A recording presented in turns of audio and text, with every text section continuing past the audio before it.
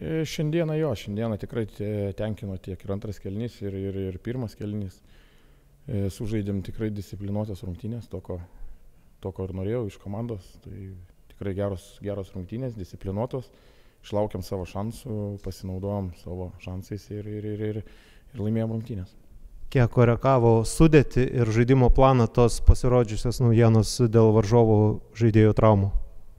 Sudėties, jeigu ne, kalbant apie mūsų sudėtį, tai labai nieko nekoregavo, tai ką turėjom, tai tą žaidėm, pas mus irgi yra keletas, keletas traumuotų, taip kad e, futbolas toks dalykas, kad nu, traumas neplenkė nei vienos, nei kitos komandos, bet išėjom, išėjom šiandien susikaupę tokias, kur ruošėmės tą sudėtim visą savaitę, taip kad e, viskas gavosi, taip kad e, šaunų miestui, miestui, miestui šventė pergalę, fanam, fanam linkėjimai. Taip kad viskas, viskas, viskas neblogai. Į pirmą lygą sugrįžite mėnesio pabaigoje, dabar laukia taurės etapas, kokie akcentai prieš kovą su Panevežiu?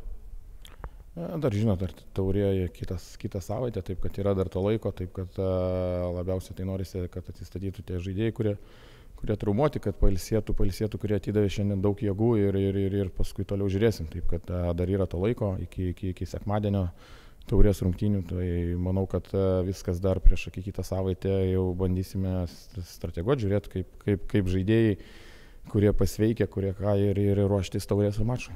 Ir pabaigai, kiek svarbu buvo Mariui šiandien pelnyti tos įvarčius?